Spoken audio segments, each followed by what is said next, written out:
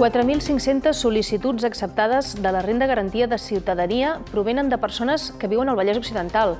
Conèixer la implementació d'aquest nou instrument ha estat un dels temes candents del Consell d'Alcaldes i Alcaldesses de la comarca que s'ha celebrat aquest divendres al migdia. Bona nit. El Sindicat de Metges de Catalunya ha convocat entre dilluns 26 i divendres 30 de novembre una vaga als centres d'atenció primària. Es queixa de la falta de metges que hi ha a la sanitat pública des de l'esclat de la crisi, fet que comporta un augment de la càrrega assistencial dels facultatius i una disminució del seu poder adquisitiu. Tot això, segons denuncia el sindicat, es tradueix en una pitjor atenció al pacient, que és qui finalment acaba pagant la falta de recursos als centres públics. Terrassa i Sant Cristòbal juguen diumenge i a casa els de Cristian García ho faran contra el Llagostera, líder i rival directe en la lluita pel play-off descens, mentre que el Sant Cristòbal s'enfronta a la Pobla de Mafumet, separats només per un punt, amb les baixes de Muntada i Aitor.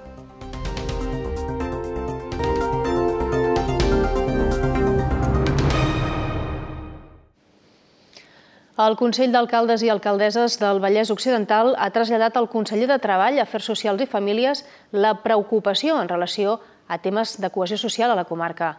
Shakir El Omrani ha participat avui en la reunió en la que s'ha parlat del desplegament de la renda garantida de ciutadania i de la situació dels menors no acompanyats. 4.500 sol·licituds acceptades de la renda garantida de ciutadania provenen de persones que viuen al Vallès Occidental. Conèixer la implementació d'aquest nou instrument ha estat un dels temes candents del Consell d'Alcaldes i Alcaldesses de la comarca que s'ha celebrat aquest divendres al migdia i que en aquesta ocasió ha comptat amb la participació del conseller de Treball, Afers Socials i Famílies, Shakir El Holbrani. La veritat és que estem satisfets de que s'hagi creat aquest instrument perquè significa una substancial millora respecte a la renda mínima d'inserció, el que s'estava cobrant, i és veritat doncs, que també s'ha ampliat amb molta gent, en aquest cas amb molts pensionistes, que poden rebre un complement doncs, en aquesta pensió. Ara mateix és compatible amb les rendes del treball en l'àmbit de les famílies monoparentals, amb el reglament s'ampliarà aquest ventall, però ja es va pactar la llei que es desplegaria finalment en el 2020 perquè es vol fer un molt bon anàlisi del que significa la compatibilitat entorn del propi mercat de treball, entorn de la negociació col·lectiva, entorn de molts àmbits on té afectacions aquesta compatibilitat.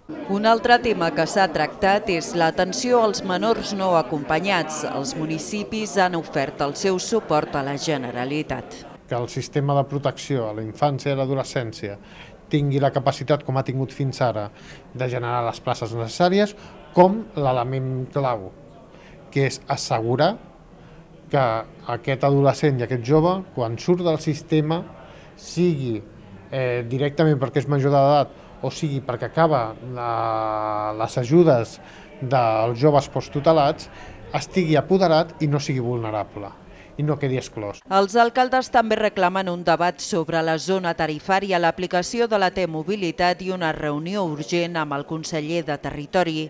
Finalment, el Consell ha aprovat una declaració sobre l'accident de Rodalies, demanant restablir el servei amb urgència i reclamant a foment les inversions necessàries. Adif ha anunciat aquesta tarda que té previst restablir demà al matí la circulació de trens entre Terrassa i Manresa. Ho farà per una via en el tram afectat dimarts per l'esllavissada i el posterior descarrilament d'un tren a Vacarisses. Els primers treballs per la normalització del servei han consistit en la neteja d'aproximadament 450 metres cúbics de materials caiguts a la via i el desballestament i retirada del tren sinistrat.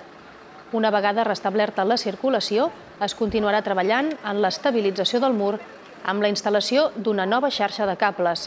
Fins que no finalitzin aquestes tasques, es circularà amb precaució al pas per aquest punt.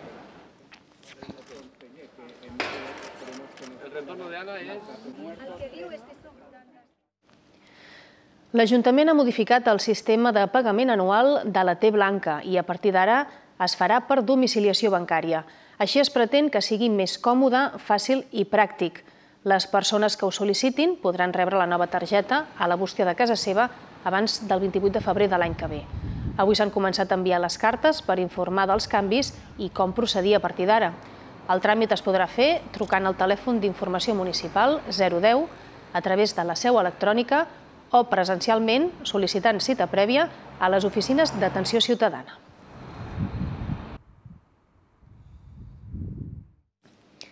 Dilluns començarà una vaga de metges als centres d'atenció primària. La protesta durarà cinc dies, fins divendres.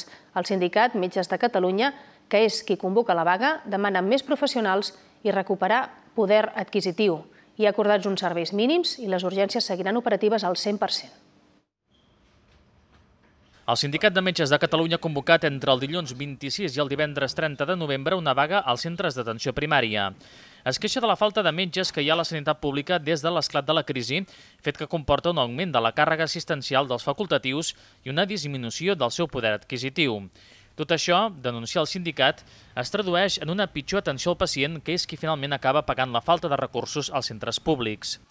Metges de Catalunya demana al Departament de Salut la reposició dels 920 professionals que es van perdre amb les retallades i que la ràtio de pacients per metge no superi els 1.300 que les visites per dia no siguin més de 28 i que hi hagi un mínim de 12 minuts per visita.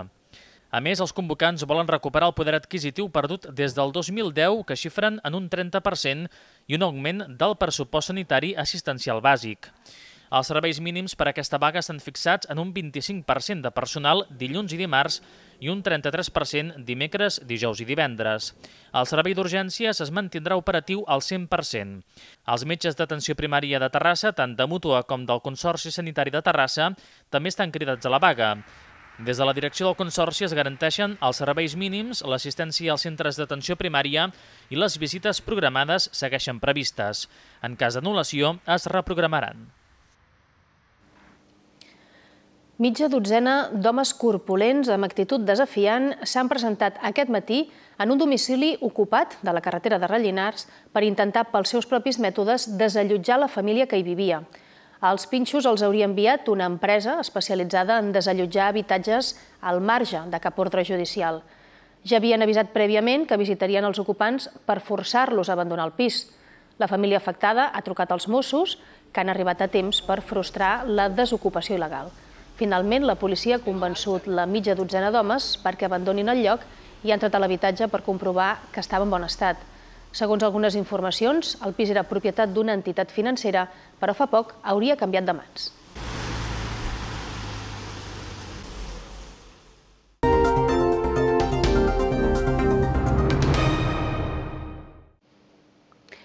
Molts establiments de la ciutat s'han sumat avui als descomptes del Black Friday, un costum que prové dels Estats Units i que ara omple amb els seus reclams tots els aparadors. Cal parar atenció, però, als preus, perquè no sempre són el que semblen. La indústria del consumisme té un fort impacte en el medi ambient i campanyes com la del Black Friday que se celebra avui contribueixen a greujar-lo. Per això, en dies com aquest, és responsabilitat de tots comprar amb sentit. En principi pot ser una oportunitat per trobar aquell producte que necessitem a un preu més econòmic, però cal actuar amb racionalitat i no tornar-se boig durant aquesta festa consumista. Completament comercial, però de vegades hi caic també, sí. Com tothom, si t'ofereixen coses, causa comprar més del compte del que necessites. Sí, sortiré demà, una estoneta. Tampoc en torno boja, eh? Vaig una mica sobre la marxa. Si, em convé, m'ho agafo, i si no, no. Perquè hi ha coses que semblen de molt descompte i en realitat no estan descompte. És important saber el preu que tenia abans l'article prenent com a referència al mes anterior per comprovar si realment s'hi ha fet una rebaixa. Està comprovat que hi ha establiments que pugen els preus els dies previs per poder aplicar després els suposats descomptes. Així ho corrobora l'Organització de Consumidors i Usuaris.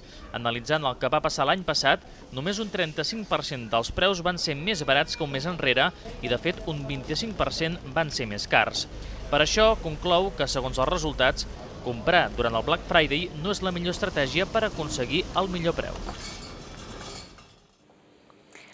Els Mossos d'Esquadra investiguen una estafa a nivell mundial en compres en línia pel Black Friday. Els agents han detectat que des d'un servidor de Turquia s'estaven llançant campanyes publicitàries fraudulentes de diverses marques comercials oferint grans descomptes. Des del servidor s'han publicat webs falses que imiten perfectament l'aparença de les oficials. Els autors pretenien aconseguir fer càrrecs per compres de productes que mai enviarien i tenir les seves dades bancàries. I en un altre àmbit de coses, avui s'han pogut recollir a l'atri de l'Ajuntament de forma gratuïta les bosses de roba sostenible de la campanya de comerç Les botigues de Terrassa m'agraden. N'hi ha 1.500 de disponibles. Si en queden, també es podran demanar el proper divendres. L'objectiu de la iniciativa és la dinamització comercial, així com la consolidació i promoció del sector a la ciutat. Molt bo.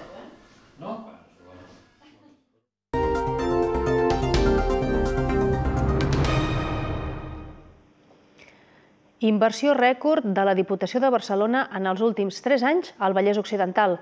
La xifra és històrica i és de 120 milions d'euros. Les partides més destacades fan referència a la creació d'ocupació, al desenvolupament local i les llars municipals. La Diputació de Barcelona ha invertit en els últims 3 anys 120 milions d'euros. Quan encara falten 7 mesos per tancar el mandat, aquesta xifra ja suposa la inversió més gran feta per la Diputació a la comarca. Ho ha dit el seu president, Marc Castells, que ha vingut a presentar aquestes dades al Museu Tèxtil. Mai en la història d'aquesta comarca la Diputació de Barcelona havia invertit tants recursos eh, eh, econòmics per fer inversió, per donar serveis a tots els ajuntaments. I per tant avui volíem explicitar aquesta xifra històrica perquè és important, sabeu que moltes vegades ens, ens diu que la Diputació de Barcelona tenim una capa d'invisibilitat, no? doncs avui volem venir aquí, jo com a president també acompanyat del diputat, per explicar-vos que en aquests tres anys d'aquest mandat la, la comarca del Vallès Occidental ha rebut 120 milions d'euros. Les inversions més destacades fan referència a la creació d'ocupació, a la que s'ha destinat 15 milions d'euros. Li segueixen el desenvolupament local dels municipis, el finançament de les llars municipals, el servei local de teleassistència i la millora i reforma d'edificis singulars i elements patrimonials. A Terrassa, la inversió de la Diputació ha estat de 19,3 milions d'euros. D'altra banda, Castells no ha tancat la porta a una possible entitat supracomarcal que aglutini els municipis de la regió metropolitana. Nosaltres sempre, sempre estarem al costat dels municipis eh, que ens ho demanin, sempre que vinguin amb propostes raonades, propostes viables i propostes consensuades amb tothom. La Diputació encara no ha tancat l'aixeta de la inversió a la comarca. A l'abril s'adjudicaran 15 milions d'euros per a millores als polígons, una ajuda a la CAUP de Terrassa. L'Ajuntament ha presentat avui el primer llibre d'estil en perspectiva de gènere d'un Ajuntament. Es tracta d'una eina pràctica per incorporar la perspectiva feminista a la comunicació interna i externa del consistori, defugint d'expressions masclistes i cercant sempre un llenguatge inclusiu i no discriminatori. Terrassa és la primera ciutat de Catalunya en disposar d'un llibre d'estil amb perspectiva de gènere.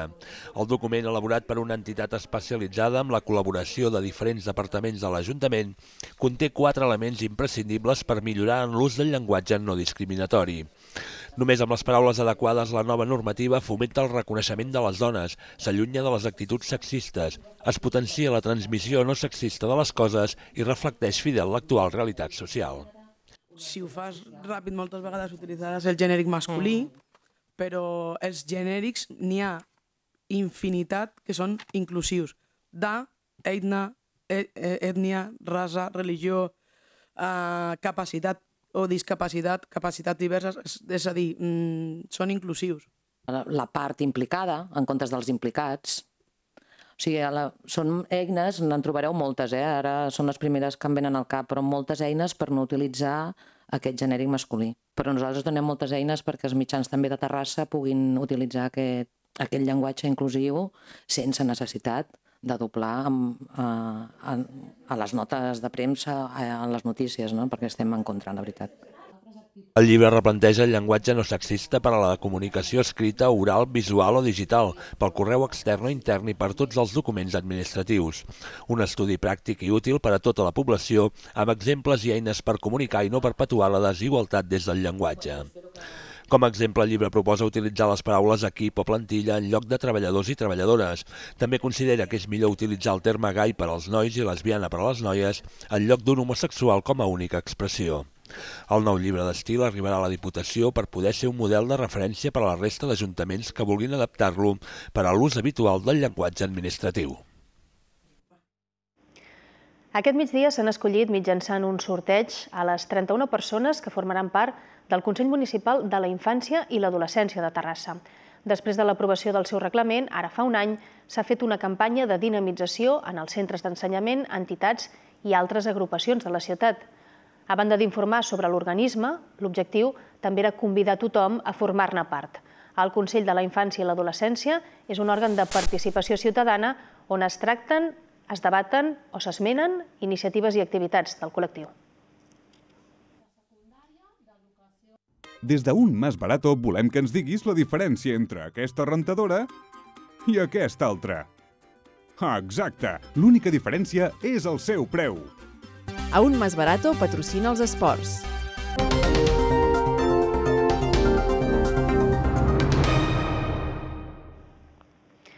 El Terrassa està obligat a guanyar aquest diumenge en el partit que disputarà a casa contra el Llagostera, un rival directe i a només un punt. Cristian García podrà comptar amb Pallàs i Guzmán, mentre que Ferreira serà baixa. El Terrassa afronta el tercer partit seguit a casa. Després d'empatar amb el Reus i guanyar per la mínima el Fels, diumenge visita l'Olímpic el líder, el Llagostera. Sens dubte, un examen pels de Cristian García de cara a mesurar forces contra un rival directe en la lluita pel playoff d'ascens, ara mateix a només un punt. Veurem molt bé la, la situació que ens trobem ara mateix. Portem una molt bona dinàmica de, de 10 punts dels últims 12, però sí que és veritat que el Llagostera ens exigirà molt i ens servirà per veure aviam si, si, si puguem estar amb, els, amb el grup capdavanter. Si bé que és el líder, el Llagostera, juguem a casa nosaltres i, i hem de treure els tres punts sigui com sigui. Els últims partits dius que ens ha costat, si poder sí, però bueno, cada partit és, és diferent, ens esperem un partit molt difícil. Els d'Oriol Alzina, que venen a descansar aquesta jornada, tenen 7 punts més que els agarencs. Han perdut 3 partits, entre ells contra el Sant Cristóbal. Compten amb un dels millors atacs del grup i posseix també una de les millors defenses. En aquesta darrera faceta té Moladia Mantini, excapità del Terrassa les dues últimes temporades. El Terrassa està obligat, doncs, a fer un pas endavant perquè tot el que no sigui una victòria seria deixar escapar els gironins a una distància considerable. Está claro que ganar pues nos, nos supondría ponernos a cuatro, perder pues bueno pues se alejarían a 10 puntos. Está claro que queda mucha liga, pero nosotros tenemos la ilusión de jugar en casa, de intentar eh, conseguir la victoria contra un buen rival en contra de lo que su entrenador dice, ¿no? que es un equipo hecho para, para salvar la categoría. No creo en eso, creo que viendo los jugadores que, que tienen la categoría y respetando mucho a los equipos que son mucho más modestos en, en la nuestra categoría, que es la tercera división, creo que tiene una plantilla magnífica, muy buena y que aspira a lo máximo que es a quedar campeón. Cristian recupera Pallàs i Guzmán després de complir un partit de sanció, mentre que Ferreira, en la recta final de la seva recuperació, haurà de d'esperar una setmana més per entrar a la convocatòria. El partit que començarà a les 5 de la tarda serà dirigit per Carlos Aldel de Bárcena i es podrà seguir per la ràdio municipal de Terrassa. I el Sant Cristóbal també jugarà a casa diumenge i ho farà contra la Pobla de Mafumet. Els d'Oliver Vallabriga esperen mantenir la fortalesa de les darreres jornades davant d'un rival molt competitiu. La victòria a Escola, primera fora de casa, ha reforçat un Sant Cristóbal que vol seguir mantenint a Can Anglada la fortalesa que està demostrant aquesta temporada. Els parroquials són conscients que mantenir-se en la zona tranquil·la de la classificació i seguir mirant amunt passa per no deixar escapar més punts del seu camp, tal com va succeir contra la Fundació Esportiva Grama. La Pobla de Mafumet, filial del Nàstic, és el proper rival dels d'Oliver Vallabriga. Tots dos equips estan separats per només un punt. Tot i venir de perdre amb el Prat, s'espera un partit de màxim equilibri entre dues plantilles joves que competeixen al màxim.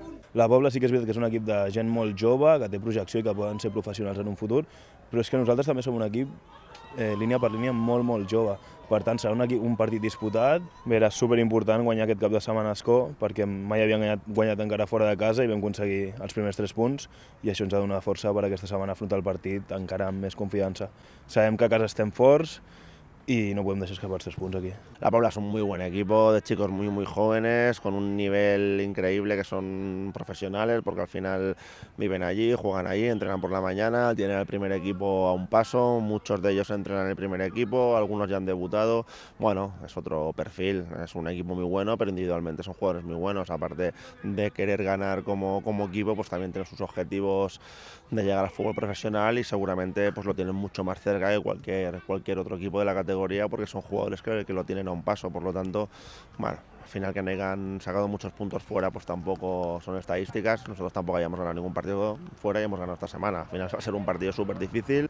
Muntada i Aitor són baixes i Edu serà dubte fins última hora. Marcos Fernández Quintero serà l'encarregat de dirigir aquest partit que començarà diumenge a les 12 del migdia. L'alcalde de Terrassa, Alfredo Vega, s'ha reunit aquest dijous amb una representació de la Federació Catalana de Futbol, encapçalada pel seu president, Joan Soteres. La trobada ha servit per analitzar els fets succeïts el passat 1 de novembre en el partit entre el Sant Cristóbal i el Llagostera, quan un aficionat va insultar les àrbitres que dirigien l'encontre. Davant d'aquests fets, s'ha decidit refermar el compromís de l'Ajuntament, de la Federació i del Club per erradicar qualsevol comportament sexista i afavorir el respecte i la tolerància en els recintes esportius.